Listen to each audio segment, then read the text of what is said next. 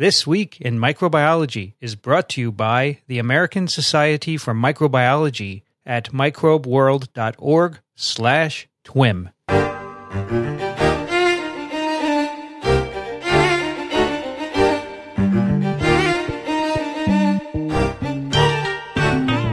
From Microbe TV, this is TWIM, This Week in Microbiology, episode 141, recorded on December 8th, 2016. This episode is brought to you by CuriosityStream, a subscription streaming service that offers over 1,500 documentaries and nonfiction series from the world's best filmmakers. Get unlimited access starting at just $2.99 a month. And for our audience, the first two months are completely free if you sign up at curiositystream.com slash microbe and use the promo code microbe. The show is sponsored by Drobo, a family of safe, expandable, yet simple to use storage arrays. Drobos are designed to protect your important data forever. This holiday season, give someone a Drobo to keep all their files and memories safe forever. Hi, everybody. I'm Vincent Racaniello, and you're listening to TWIM, the podcast that explores unseen life on Earth. Joining me today from Small Things Considered, Elio Schechter. Well, hello there. How are you? Been a couple of weeks. We we skipped the Thanksgiving episode. Aha, it's true. It's been a while. Have you been well? Everything good out there on yes, the West Coast? You. All is well. That's great. And winter must be setting in, I'm sure. Have you had snow? yeah, no, you don't do that. What's that? What's that? How do you spell that? Also joining us from Charleston, South Carolina, Michael Schmidt. Hello, everyone. How have you been?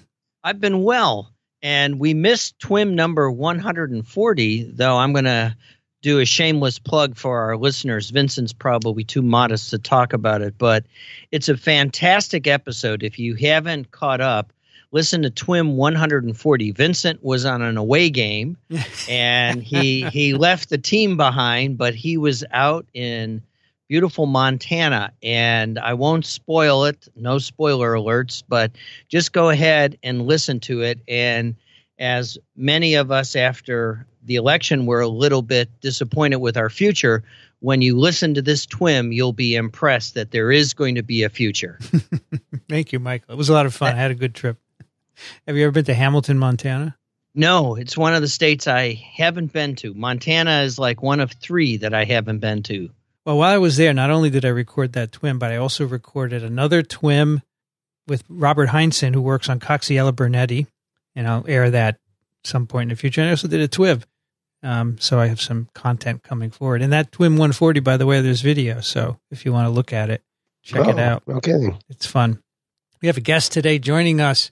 Michelle isn't here, but we have a guest who is a professor out at the University of Pittsburgh, in Pittsburgh, Pennsylvania. Jennifer Baumberger, welcome to TWIM. Thank you so much. I, I'm excited to be here and looking forward to the show. So, I first met you back in January when I visited Pitt. Mm-hmm. that was on the occasion of the Julius Jungner lecture. Correct. It was. We taped a TWIV that time. That's right. It was a TWIV, which is appropriate for Julie, right? Because he spent most of his mm-hmm. life doing virus work. And um, that was the weekend of the big storm in the Northeast. Now, it took me, as I've told many times on Twiv and Twim how long it took me to get home. But I understand you've changed now the the timing of that lecture to make it in a better weather season. We have. We learned a lesson from your visit, Vincent. we're now great. doing it in June this year. So we're wrapping up our annual seminar series with the Jungner lecture this year. So Paul Offit's going to join us this year. So that's very exciting. Oh, that'll be great. He's mm-hmm. wonderful. Mm-hmm. Um, so I'm glad you learned something from me. Something good came of my visit. we learned lots of things, but scheduling was one of them.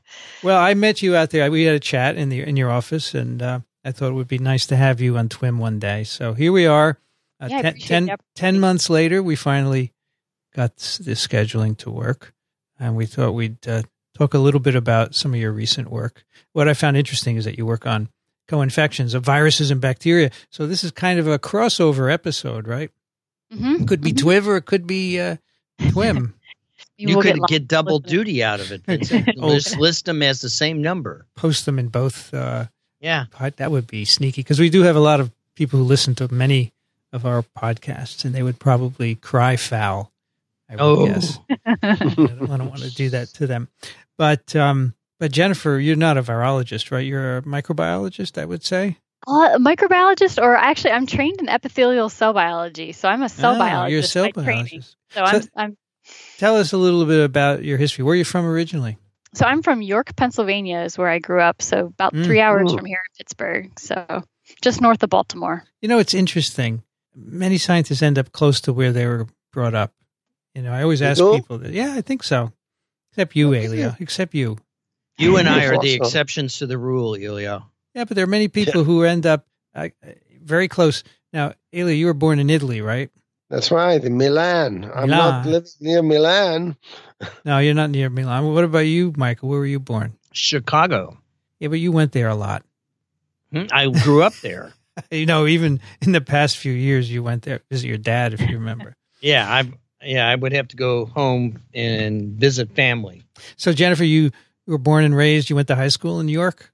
Yes, I did. Where'd you go to college?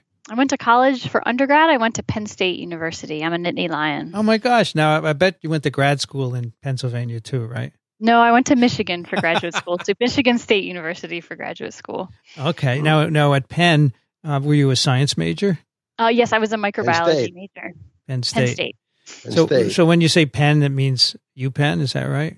That's Yeah. how most people take it. Yeah. Ah, so I have to it's say my alma mater, so I better stand up for it. UPenn is yours. Penn, Penn is Yeah. your. Oh, wow. My PhD there. wow. I'm, I'm not sure I remembered that, but that's great. So you were a microbiology major.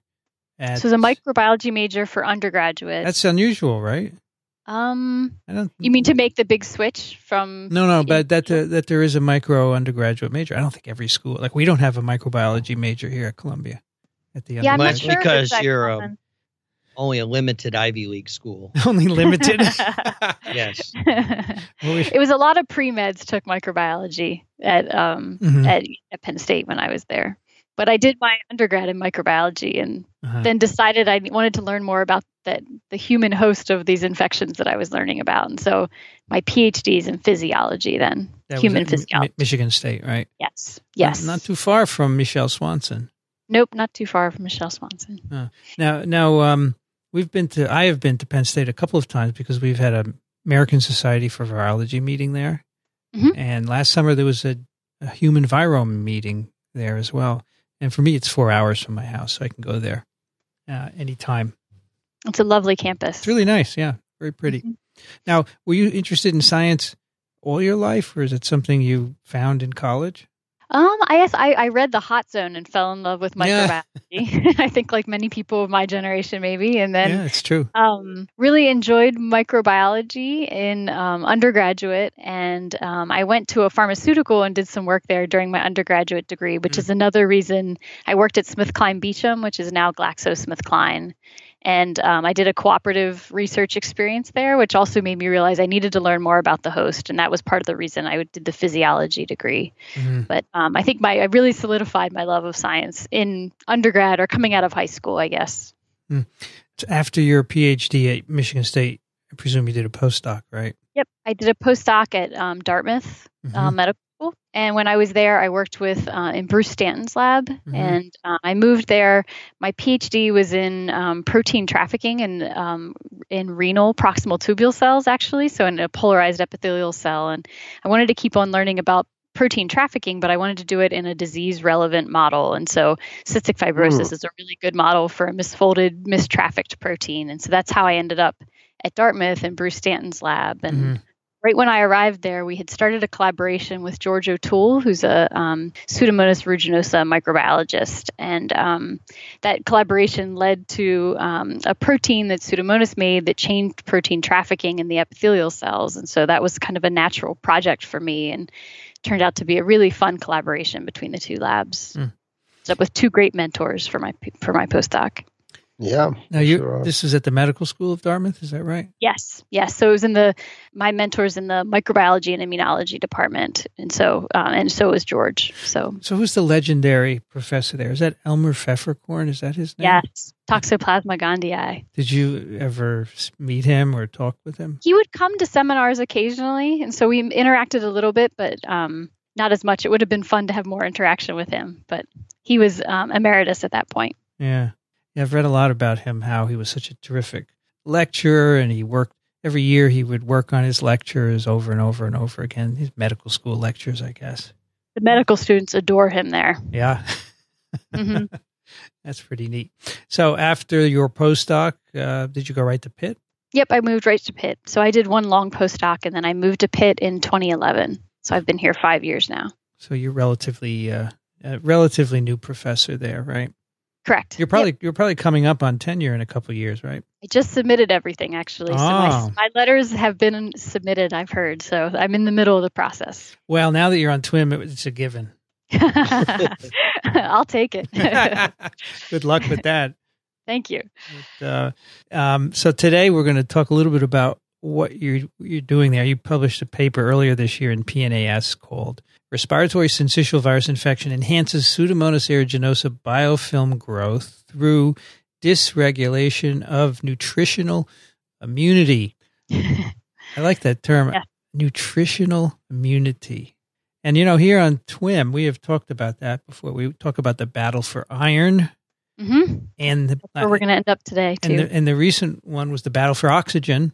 Would Mm-hmm. that fall into nutritional immunity too? Mm, only if you think about what iron is used for. Yeah. yeah. Well, why not? I don't know. It's Well- another. It's kind of the same idea that the host is tricked into giving up iron in some way. And Mhm. in the last, you know, a couple of twims ago, we talked about a paper where a gut organism, I think it was salmonella, you know, tricks uh, epithelial cells in the gut to uh, undergo fermentation, and that frees up oxygen for the bacterium to use. I don't know if you saw that paper, uh, Jen. It was from Andreas Baumler's lab. It's very oh, I've cool. not. se- I have not seen that paper. He Very does cool. lovely work. Though. Very cool stuff. But uh, same idea that the, somehow the a limiting factor, whether it be iron or oxygen, is tricked into being released. How did you get into this this area of co-infections? Yeah. So um, the, I guess the way we got into it was thinking about in cystic fibrosis how chronic infections get established in patients. And we were reading a bunch of the literature, trying to think about this as I was starting to gear up to move and start my independent research program. And we kept seeing there's an abundance of literature in cystic fibrosis that when patients um, get chronically infected with Pseudomonas aeruginosa, so this is an infection they get in the um, their late teens or early 20s, and it's thought that this infection leads to the majority of the morbidity and mortality in patients, which is why we were so interested in the establishment of these chronic infections. But if you look through the literature of when patients get chronically infected, it cor- there's a lot of clinical literature that they've had a respiratory viral infection around the same time. It um, their chronic Pseudomonas acquisition tends to happen in the winter months, which is also respiratory virus season. So there's all this clinical literature, and if you talk to physicians, they'll say that virus infections seem to have some correlation with um, chronic Pseudomonas infections in patients. And so we became really interested in if we could understand maybe mechanistically how that's happening, and with the long-term goal of trying to prevent it. Remind us um, what what's going on in cystic fibrosis in, in the patient. Yep. So um, in cystic fibrosis, so cystic fibrosis is caused by genetic um, mutations in the CFTR or cystic fibrosis transmembrane conductance regulator. It's a chloride channel in the. Um, it's expressed in many cell types in the body. One of the places it seems to have a really important function is in your airway epithelium in your lungs, and they're conducting chloride ions into the airway surface liquids, important in maintaining fluid balance on the airway epithelium that allows you to have effective mucociliary clearance. And so, when you have a defective chloride channel by a number, there's thousands of mutations that will cause cystic fibrosis. And um, those mutations cause either an inappropriate trafficking of CFTR to the membrane of the epithelium where it needs to work, or it doesn't gate properly once it gets there. But Mhm. it ends up you get a dehydrated airway surface liquid, you get thick and sticky mucus, and that ends up um, preventing mucociliary clearance, and you get pathogens and debris in the airway. And so that tends to lead to many infections in patients. But for reasons we still don't fully understand, by the time they reach their late teens or early 20s, Pseudomonas aeruginosa tends to dominate the airways of these Mm. patients. So you decided, based on the literature, you wanted to look into a viral trigger, right? Correct. And so that's where this paper, I assume, originated. And you settled on respiratory syncytial virus, right? Yeah, so may, I, may I pipe in with Yeah. something a little bit off offbeat? Sure, Uh. Jennifer, you're probably aware of the work from uh, Forrest Rohr's lab, where they find phages bind to mucus in the lung it may be a protective mechanism against bacterial infection. Mm. So I'm I'm just uh, I'm standing up for viruses, not necessarily being bad things. They can be good things too. Absolutely, absolutely. Yeah, maybe because the mucus is so thick, the phages can't get where they need to go and protect. But Right? That's also sure. But but the viruses stick to mucus. They have a A specific receptor too. Yeah, yeah, yeah. And they and the idea is that they would prevent infections by lysing bacterial hosts, right? There are certainly phage therapies in development too hmm For for cystic fibrosis. for many different bacteria, for Pseudomonas infections in general. But Yeah. in CF, they have started, cystic fibrosis, they have started to look at phage therapies.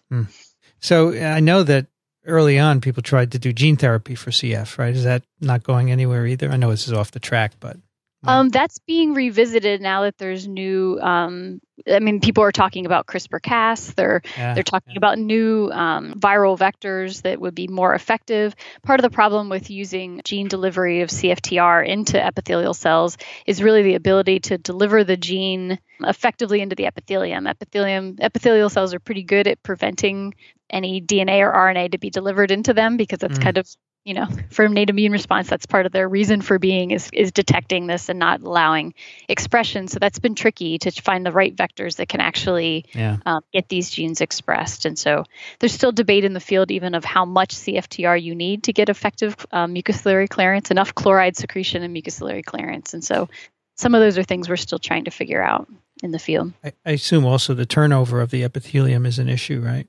Correct. Because it does turn over. I don't know if it, is it as much as the gut or is it still enough to prevent effective gene therapy? Probably, right? It's not as much as the gut, but it still would be some it's some sort of barrier when you're trying to think of gene therapy. Yeah, yeah.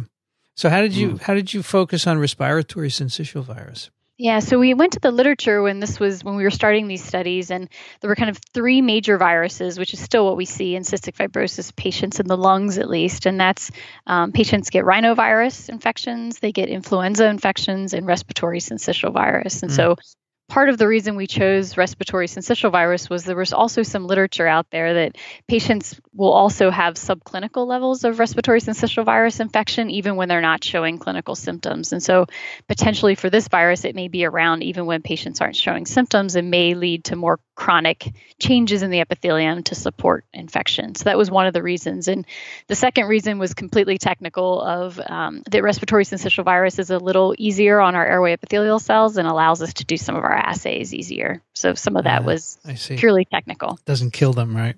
Yes. Yeah, that's Yes. important because if it did, that would be kind of difficult. Many of your figures would go away then. Correct. Yes. Yes, we did a, um, a ton of control experiments to convince ourselves that our epithelial cells were healthy in our assays and actually were modeling what happens in cystic Right. fibrosis. so take us through the paper first. Tell us what the system is that you use. Yeah, so we've developed a system. Um, I developed this when I was in Bruce Stanton's lab working with George O'Toole at Dartmouth, and I moved this model with me to the University of Pittsburgh, where we grow um, human airway epithelial cells um, polarized.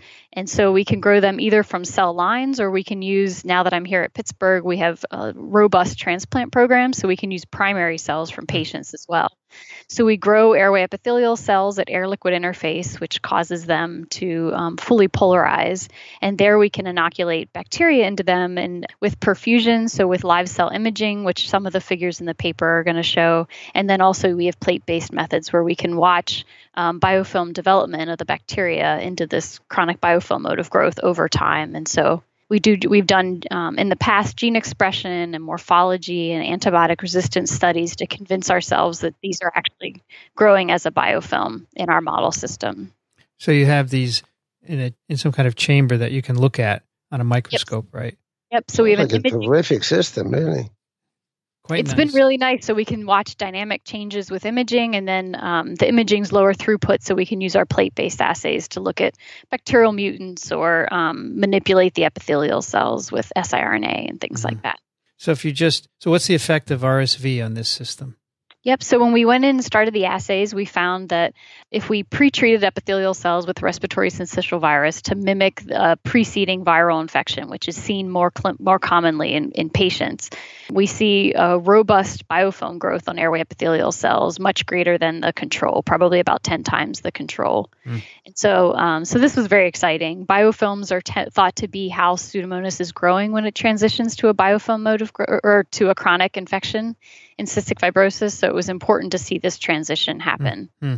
So that was the exciting first figure that kind of started this project. So if you you, you pre-infect with RSV, and then how much later do you come in with Pseudomonas? So we come in with Pseudomonas. Um, we've done time courses, but the peak seems to be 72 hours after infection.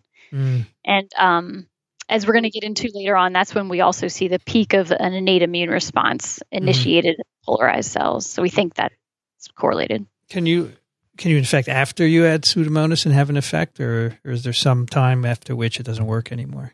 So um, we would love to do those experiments. That again is a technically limited. Pseudomonas is pretty um, pretty hard on our airway glial cells, ah, and so we it's a, normally a six to twelve hour assay that we're doing for imaging, and the viral infection would take much longer to get up and running. And so until we come up with a new model system to be able to grow our epithelial cells, I think we're kind of restricted in the time we can do the right. assays. So I notice in these uh, initial assays, you're measuring Pseudomonas by colony forming units, so you're actually Correct. plating them out, right? In mm-hmm. virus, you're doing PCR for viral We're doing RNA? PCR, but we've also done plaque assays. So it I does it does grow. Shown, yes, it does it does grow. Yeah, that's so it makes RNA and makes virus, infectious yeah, virus. that's important because yeah. if you didn't look for infectious virus, unfortunately, in, in, some in some of the Zika literature, people are not looking for infectious virus and they're just looking for RNA, and you never know what's going on there. Correct. But here, but here, okay. So you had this cool effect. What did you do next? Yeah, so what we wanted to know next, I mean, so, so first in the first figure, we also looked at um, confirming some things that are important to check when you're doing these in vitro systems. We wanted to also convince ourselves, so we used a lab strain was the initial, the lab strain of Pseudomonas aeruginosa was our mm. initial finding. We confirmed that we can use clinical isolates from cystic fibrosis. That's often, sometimes you'll see differences in lab strains to clinical isolates. So uh, we, we've shown that we can see, we see the same thing with clinical isolates. And if we take primary cells from CF patients or cell lines, we see the same phenotype in all of those. So those were important controls mm-hmm. to do. Then we moved on to ask how this was actually happening. And one way we decided to go after that was to look and see can we use different viruses? Is, is this an RSV specific thing, or is this something that other respiratory viruses will induce? And to ask that question, we used um, human rhinovirus 14 and adenovirus 5 as two very different viruses than RSV. And so when we did that, we infected our cells, we saw replication and um, effective viral replication in our cells. And then when we did the bio the biofilm assay, we saw that those viruses also induced biofilm growth. Mm. So that suggested to us two very different RNA viruses and a DNA virus. That suggested to us that this probably wasn't a viral effector protein. It was more likely something more general like the host immune response to viruses. Mm. That's and very so, clever, Annie. I like that. Thank you. yeah, that's good. That's a good one because uh, if you just did one virus, you wouldn't know. So you're well, th- it also has implications as as you begin to go downstream and to begin to think about how to combat a pseudomonas biofilm is you don't necessarily want a viral infection and you really want to deliver the immune response directly against the virus at the particular cell you're trying to infect. And so rather than vaccinating and getting IgG, you'll want to be able to ensure that you get um, IgA being secreted from uh, the airway cells. Yeah, yeah. Mm-hmm. Mm-hmm. Mm. So, Jennifer, is this effect of virus on biofilm development? Does it require a polarized cell monolayer, or can you do it in other non-polarized cells? Yeah, so we've actually done these studies. Um, we're going to get a little further on in the paper where we see this condition media effect. We actually see that in um, non polarized cells, but um, when they're polarized, we are certainly seeing the secreted factor that stimulates biofilms that we'll talk mm. about in a, in a, little bit. That is a polarized secretion that's secreted only apically and not basolaterally. And so um, we think in terms of we can do this in an unpolarized cell system, and we've done that for some screening mm-hmm. projects mm-hmm. that we have going on. But we think in terms of understanding better what's happening mechanistically, the polarized model is probably the better model to use. Okay, so you have this effect with several viruses, so you're thinking it's a cell response. Correct. Now, how did your thinking work? What did you think of next? Did you immediately go to what's in the paper, or did you try some other things? No, so we actually tried a bunch of things, and so some of this is um, the story of being a new faculty that I was still getting my virus preps up and running when I had just joined the department, and I decided a better way to go after that would be, or while we're getting the viral infection part up and running, we would read the literature, any um, any PAMPs, any pattern patterns that will induce a um, innate immune response that have been shown to be important for RSV, will will buy synthetic inducers of all of those systems mm-hmm. and add those to our airway cells and see which of those are actually important in generating this biofilm stimulatory effect. And so, there's literature that TLR3, TLR4, RIG-I, all these different pattern recognition receptors in the host that are important. We bought ligands for all of them and tested them all. And so what we found with that was anything that fed into the interferon pathway gave us our stimulation, mm. and anything that didn't did not give us stimulation. And so those those studies didn't actually make the paper, but um, we decided to just show the interferon data in the paper. Yeah, that's, but that's how we actually did the okay. study. There's always a backstory, right? Yes, it was actually nice how clean it was, though. That that always isn't always the case. Yeah, so. yeah. So what what what's the experiment that showed you it was interferon?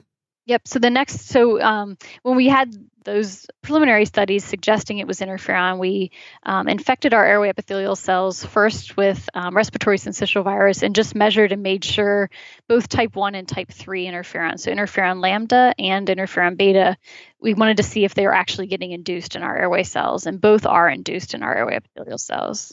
Mm-hmm. And so, um, so we used um, mRNA and an ELISA to show that they get induced. And then we took exogenous or recombinant protein for the same amount that our airway cells were making and added that directly to our airway cells in the absence of a viral infection.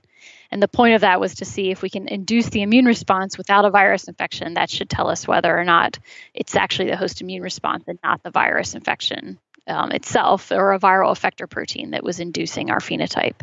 And so when we added interferon lambda or interferon beta to our airway cells, it induces biofilm growth mm-hmm. as well. Mm. That's, that's nice.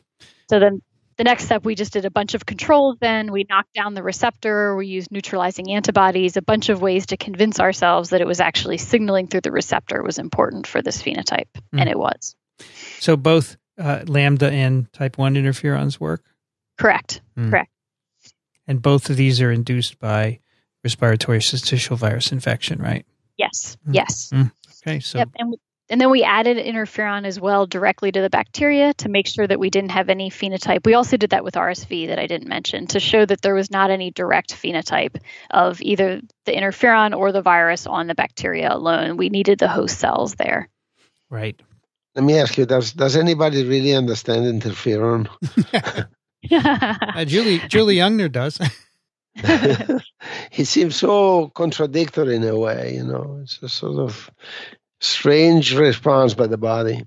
Yeah, it definitely is interesting that we have different signaling for i mean i think there's different temporal regulation of these two interferons but it is interesting they both signal very similarly induce a similar set of, of downstream genes and so um, i think there are certainly still questions in the field of how that signaling works and why we have multiple mechanisms to induce a similar response.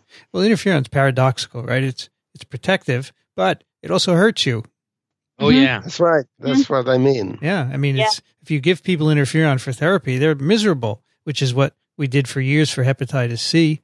Um, mm-hmm. It's toxic, and so it's got to be highly regulated. You know, it has to be produced in a burst uh, after infection, and as we'll see, it can have negative consequences as well. So yeah, it's a double-edged sword, I would say.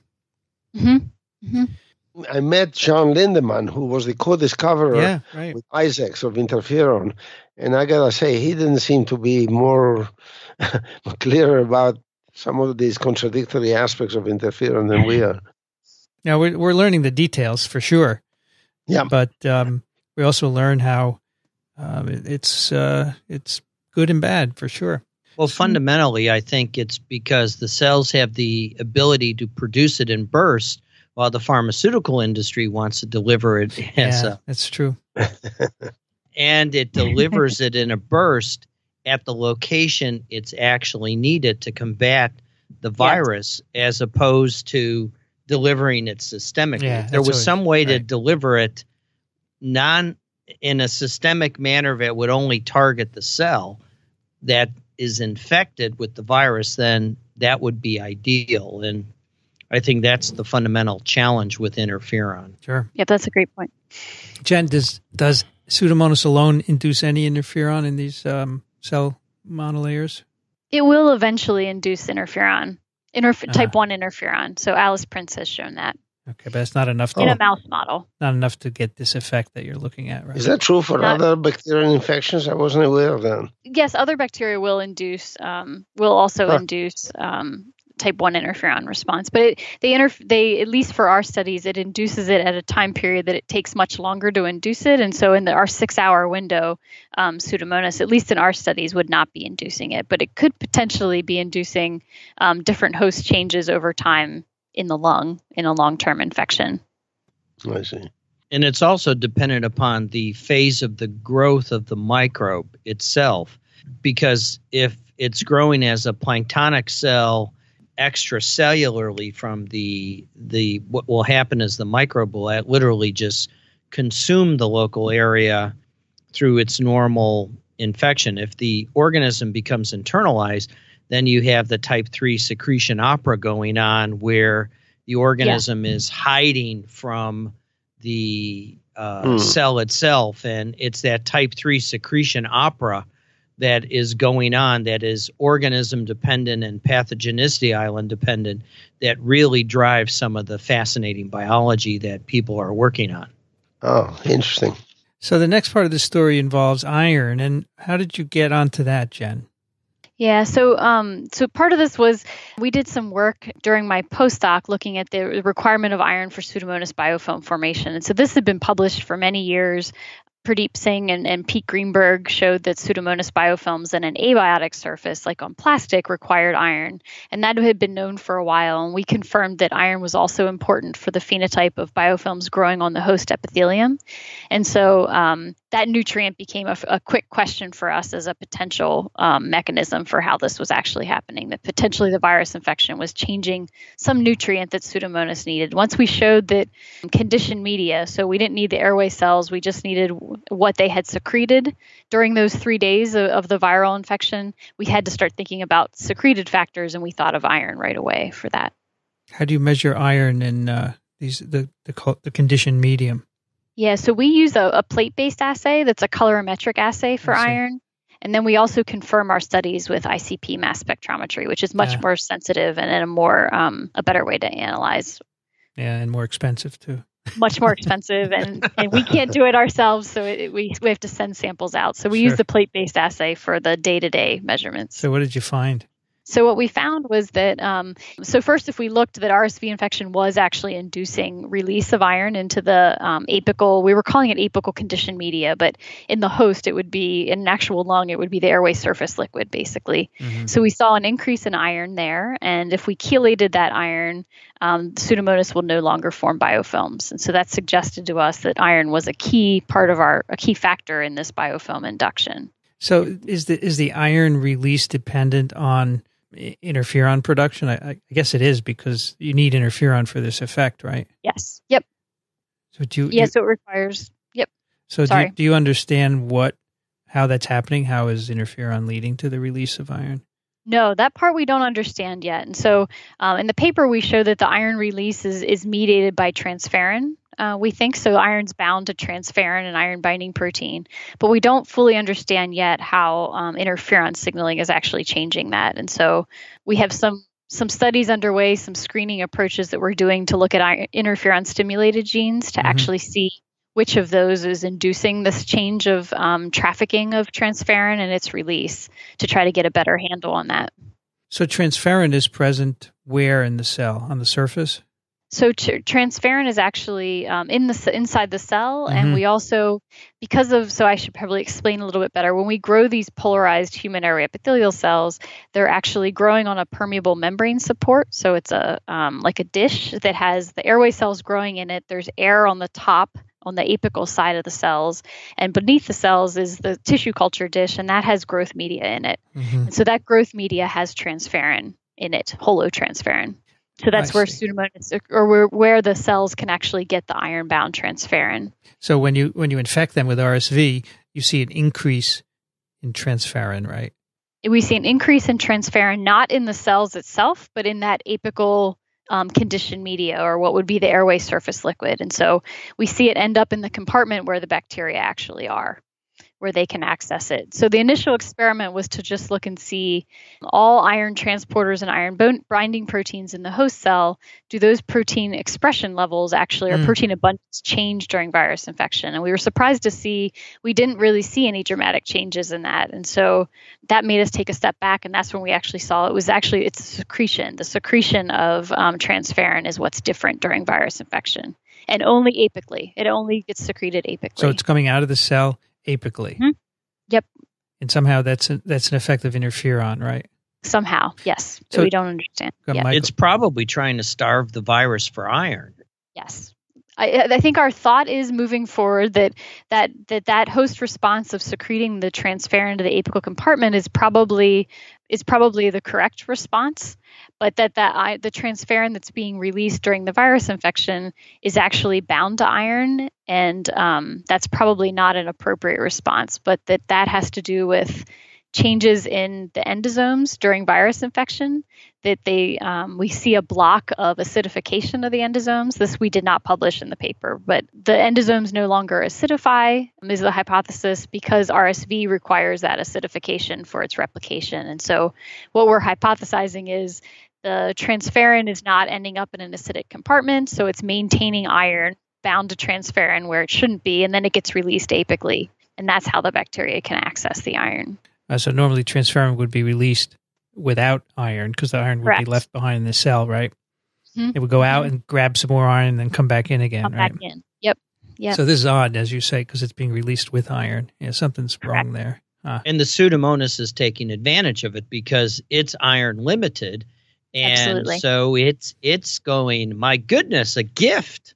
Yes. it's yeah, a gift from the virus. Christmas came early. Yeah. How does the so I assume the iron is is bound pretty tightly to transferrin. How does Pseudomonas rip it out of there? It's ten to the minus fifty two. That's its binding kinetic. Really? Yeah. Wow. You, you, carry that number in your head, Michael? I, I remember I was brainwashed by Gene Weinberg.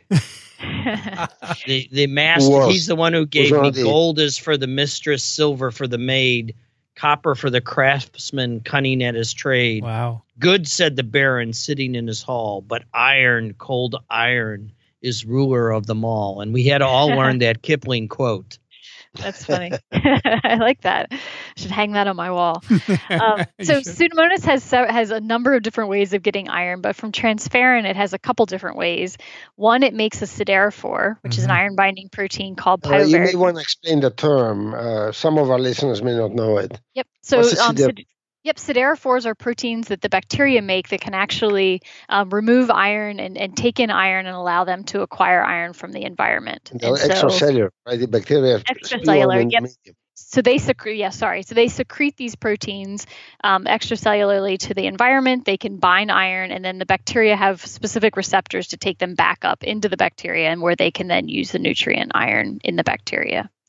And so um, Pseudomonas makes a couple different siderophores, but pyoverdin actually is a siderophore that Pseudomonas makes that's known to have a better affinity than transferrin or lactoferrin, other host binding, iron binding proteins. And so this is a tremendous siderophore that can actually pull the iron away from um, the host bi- iron binding proteins. Mm. Um, so can you make a, a, Pseudomonas without the gene for this siderophore? Yes, you can. Are they viable? They are viable. If you put they them, are viable and in as long as you give them iron. You have to give them iron, right?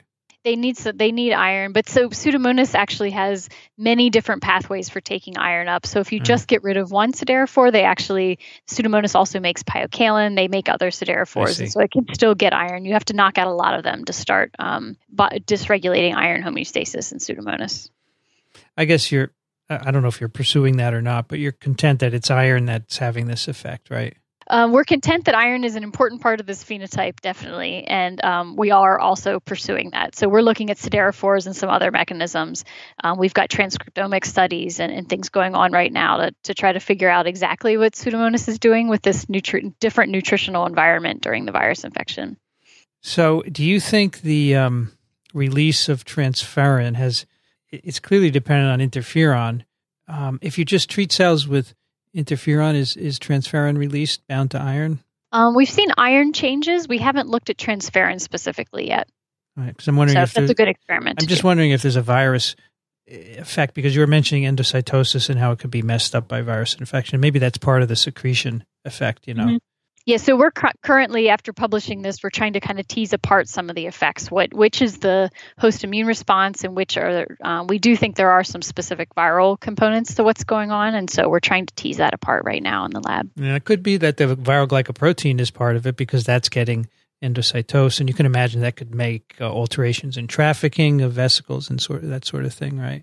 Mm-hmm. Mm-hmm. So you might want to look at pseudotypes with different glycoproteins of different viruses that might not be having That's the same effects. Idea. You know, like mm-hmm. VSV comes to mind because people use that all the time. You can probably put the, the glycoprotein into, or you could make VSV pseudotyped with the respiratory syncytial virus glycoprotein and see if it has the same effect. If it if it alters the trafficking. You want to say what a pseudotype is? A pseudotype is when you take a virus and you substitute uh, a glycoprotein from another virus. So a common one is vesicular stomatitis virus, which has a glycoprotein uh, in its membrane. You can insert the gene for a different viral glycoprotein, like Ebola virus, and they're called pseudotypes. And then you can grow them in the lab and be safe about them because it's not Ebola virus.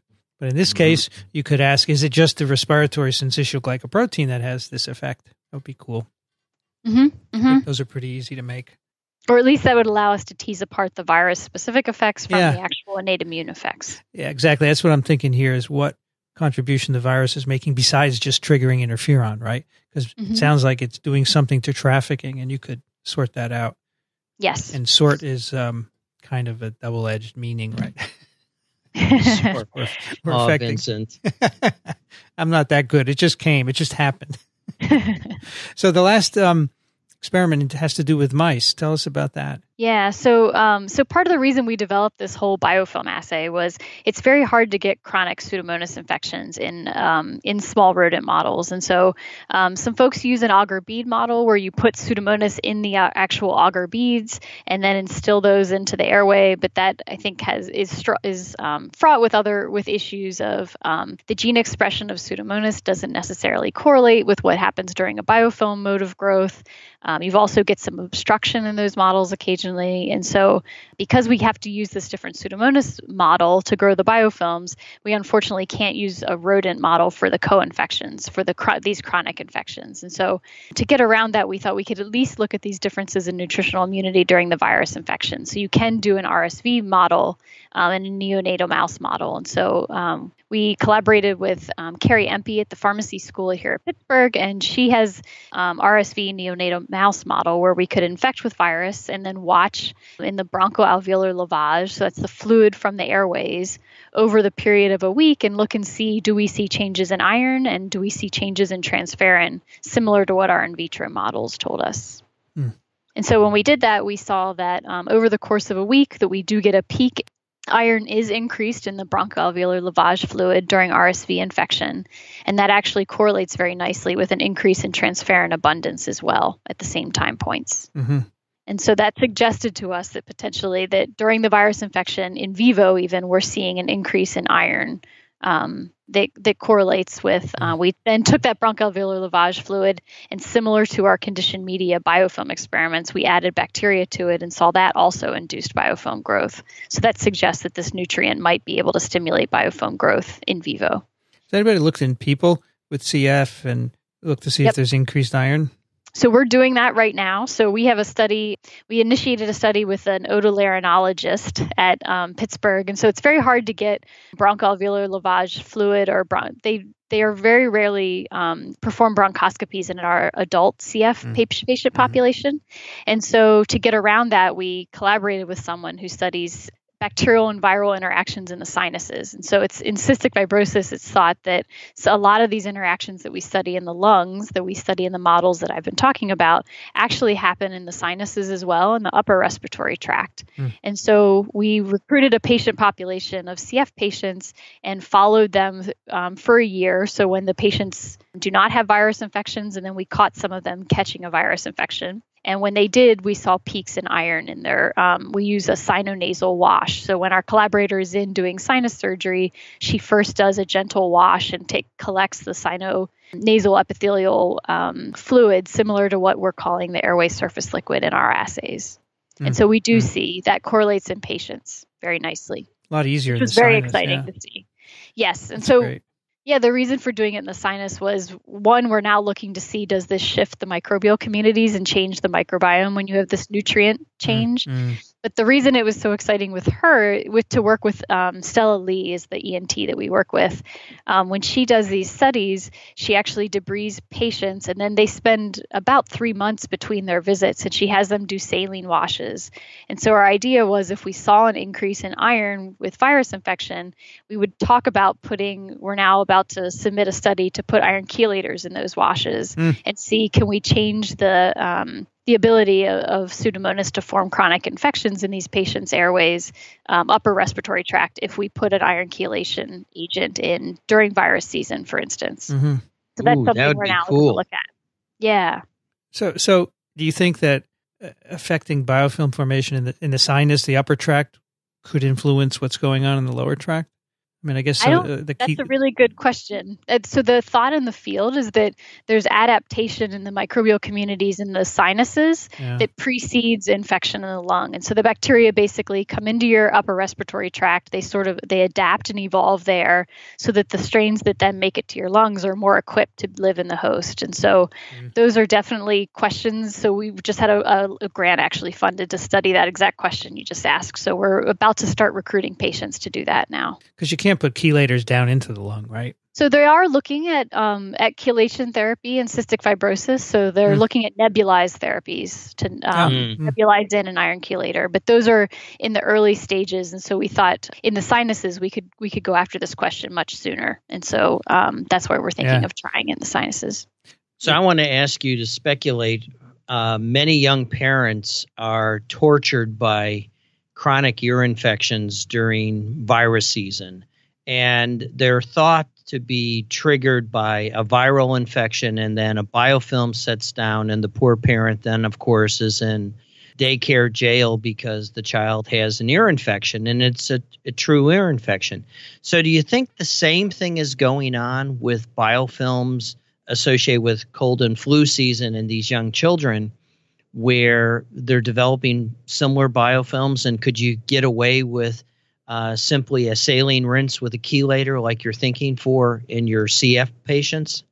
Yeah, so I think yes, I think that is something we are certainly thinking about, and so um, the so we've done some studies in the paper using non-CF airway epithelial cells, and so we do think we see similar um, we do see similar phenotypes in non-CF airway epithelial cells. So we don't think this is a cystic fibrosis specific thing. So that does suggest that this could be helping in other tissue systems. Um, Kevin Mason at Ohio State has done some really nice work looking at iron with viral bacterial interactions in otitis media, and so they think iron's important there too. So I do think potentially if we see some um, efficacy of, of using these iron chelators, that might be a potential therapy in other diseases or other um, issues like otitis media as well. It's it's much better to think about using saline and a little EDTA or Chelex rather than an antimicrobial to treat uh, a poor child with uh, an ear infection. Yes. So it could be cool to see what would happen. Mm-hmm. They've also so there's been some nice otitis media papers, and we showed using our model too that actually when the virus infection precedes the biofilm, those biofilms are even more antibiotic resistant than oh, yeah. they were typically, and so um, even even the host induced or the host biofilms become even more antibiotic resistant and so during the virus infection and so i do think that's going to cause even further problems with antimicrobials so you're right i think thinking of other therapies like chel- iron chelations or, or things like that i think are going to be useful hopefully moving forward and one thing I want to correct is I went and made sure my neurons were working right. The binding uh, or the uh, constant for iron is 10 to the 20. It's not quite 10 to the 52. It's 10 to the 20. That's a big difference. Still pretty amazing. Well, yeah. It's still pretty amazing. 10 to 10 to the 20 is yeah. 10 to the 20 molar is is pretty impressive yeah. of how transferrin holds onto iron. Jennifer Jen, you also mentioned using gallium uh, along yes. with how would that work? So those are studies that are being done and actually are in the process of clinical th- of clinical trial right now, which is exciting. So Pradeep Singh out at University of Washington is doing those studies. And so the way gallium works is it actually is recognized and taken into the bacteria similar to iron. So it binds similar iron binding proteins. But then when it enters the bacterial cells, it can't be used in um, iron sulfur cluster enzymes, for instance, the way iron can. And so it actually dysregulates iron homeostasis and starves the bacteria of iron, even though they think they're taking it up. And so um, it's a pretty sneaky way to to target iron. Instead of chelator, chelators, you could do something like gallium to actually outcompete hmm. um, hmm. the host See, iron with gallium. I seem to remember we discussed this once Yeah, on TWIM. That's right. I was just going to say there was a gallium story and how Right. it'd be very difficult to get resistance to gallium. That's another. That was another part of the study, yeah, which is also very exciting. Yeah. Yeah, that was a cool story. So this is a this is a lovely way to tease out the interaction between a specific bacterium and a virus or a couple of viruses. Are there other polymicrobial infections of this sort? Not necessarily CF, but maybe other things that people are working on, or is this pretty much limited to this? To viral bacterial, you yeah, mean, or yeah, vir- um, viral bacterial. Yeah. Yeah, so folks are looking at viral bacterial interactions, particularly with influenza, so other respiratory tract, definitely. So Mhm. they're looking at viral bacterial interactions um, with um, flu, influenza, and either Streptococcus pneumoniae or pneumonia or um, Staph aureus. Those are two common co-infections with flu. So that happens during the pandemic as well as just seasonal um, influenza infections, you'll get a good number of those patients actually, um, when they present and they're sick, they're actually sick with a bacterial pneumonia, which is often Staph aureus Mm, mm. now with the um, Pneumovax uh, vaccines. And then, um, so in terms of looking at viral bacterial interactions, um, Julie Pfeiffer is looking at them also in the gut. That's right. Um, yes. Yes. Yes. Polio and bacteria and the microbiome and Mhm. Um, in that case, the bacteria are helping, helping, the viral yeah. infection. So, Michael, remember we did a paper a long time ago on how influenza virus infection disrupts biofilms of was it staph or Influenza. It it's it's strep strep, Strep. pneumo. right, and that gives you the that, but that it's the gives you- wrong way round. Instead of it disrupts the the strep pneumo biofilm Biofilm. that's growing in the lung or growing on the epithelial layer uh, in the upper airway, and it effectively makes it planktonic. So Right. the pneumococcus then sinks deep into the lung. And I was just trying to hunt which episode that was. that's where you get a bacteremia. Then after that, that's where you get a bacteremia. Yes. Yeah. So I, I'm I, I was just wondering if if iron is the trigger there as well. So I Um, don't know that they've looked at it in strep pneumo co-infections. For Staph aureus, they have looked in um, lipocalin levels, which is a host antimicrobial antimicrobial protein, as well as um, chelator. Um, lipocalin levels are actually changed during flu staph co-infections, and that that ends up with more free iron available to the bacteria. And so for flu staph, I think iron is going to be important. I don't think anyone. I'm not aware of any literature for flu strep pneumo co-infections. So, what's uh, in the future in this this area for your lab? Yeah. So for my lab, as I mentioned, we're about we're gearing up to do this patient study to Mhm. look at how viral infections shift both the microbial community as well as Pseudomonas um, evolution in patients, which I'm very excited about. We're also as I said, looking, starting to try to tease apart what the contribution of it, how interferon is changing transferrin trafficking in the host cells. And so mm-hmm. uh, we're mm-hmm. doing an interferon stimulated gene screen with John Scoggins using his ISG um, lentiviral system. Mm-hmm. So we're going to look and see which interferon stimulated genes cause this transcytosis. And since we're an epithelial cell biology lab, we're excited to then look and see how those proteins might be changing the trafficking of transferrin in our cells. Yep. So it, uh, we shouldn't let this go without pointing out a fabulous review article that you wrote with Jeff Melvin in PLOS Pathogens. is listed under their uh, category pearls, and this mm-hmm. indeed is a pearl. It's called Compromised Defenses Exploitations of Epithelial Responses During Viral Bacterial Co-Infection of the Respiratory Tract. It's a long title, but the paper is just fabulous. Thank so you very I, much. I really salute you for it. I enjoyed every every word of it. Thank you. I concur. I hope to have that in, in the show notes. I will, and of course, PLOS Pathogens is open access, so everyone can reach it. And your paper might already be open after a certain number of months. Uh, becomes open in PNAS as well, which is always good for people to be able to check and out. Be able to access, yes. Yep. This episode is brought to you by Curiosity Stream, the world's first ad-free nonfiction streaming service. They have over 1,500 titles and 600 hours of content.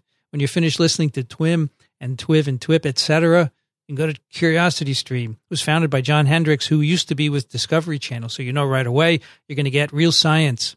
You can watch this on the web through your browser or on any of those devices that interface the internet with your TV, like the Apple TV, the Roku, and many others, available in 196 countries. And what they have is a wide variety of science and technology documentary type shows. They also have interviews, lectures, and um, a variety of all sciency stuff that I think listeners of uh, the microbe TV shows would really like. Some cool examples: Digits, a three-part series hosted by Derek Mueller, who created the YouTube science channel Veritasium. This explores online safety and security, and two of the recent guests have been Edward Snowden and Vint Cerf. Stephen Hawking's Favorite Places is a cool series. He pilots computer generated spaceship across the universe and he stops at his favorite places. And this always brings up what is your favorite place to go to in the universe? Deep Time History is a three parter on the 14 billion year history of the universe. And there are many, many more. If you just go there, curiositystream.com, and search, you don't have to sign in just to do a search. You can see all the cool stuff. Search for science, search for virus. You'll even find some virus shows, bacteria, microbes. They also have a interesting library of super high definition content, the so called 4K films or movies. No more film these days, right? Over 50 hours of 4K.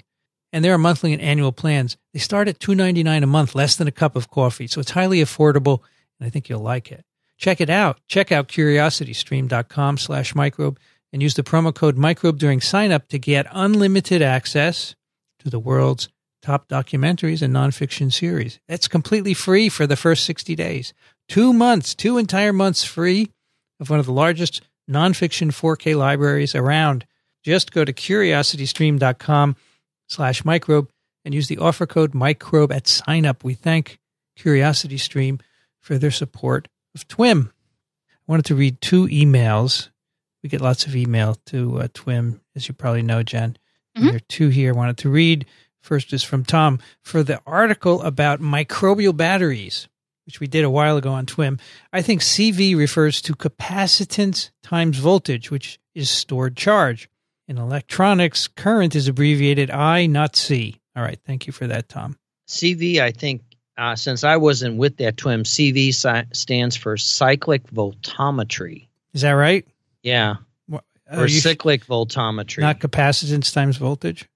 Which no, it's, it's uh, if, if I'm remembering the paper right, it it's probably measuring cyclic voltammetry. Okay. Uh, Tom continues, the claim in the letter got me thinking about microbial batteries, and I wrote a blog post about their theoretical capacity. They have potential. He sends a link to that in uh, Medium. It's called Mr. Microbe Needs a Jolt. And he writes, This week in microbiology had a letter reader letter about biobatteries that referenced a CV metric. And he goes through a number of calculations about how much current you could get out of this. So, so I'll put this in the show notes and you can check it out. Thank you for that, Tom. And then we have one from Nancy who writes Hello, TWIM team. Since discovering you all, I have been binge listening to TWIP and TWIM. Ah. Most, most enjoyable to listen to the discussions and very good leavening for the mind. Huh.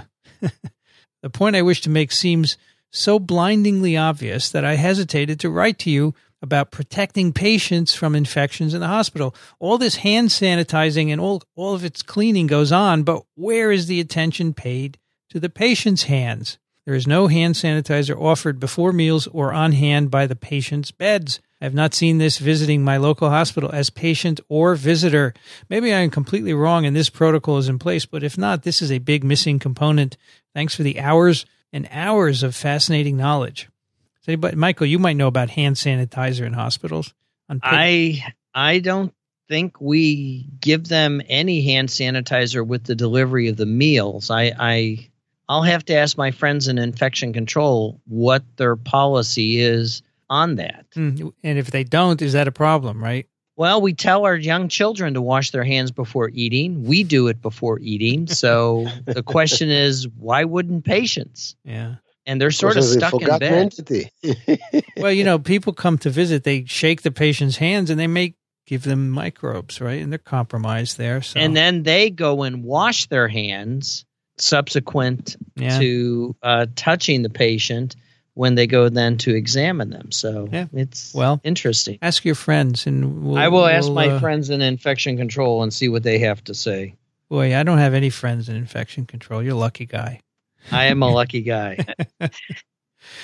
okay, well, our fearless leader, Vincent, Mm-hmm. has been interviewed and is the subject of a piece in a blog site called Associations Now, which deals with why associations should have podcasts.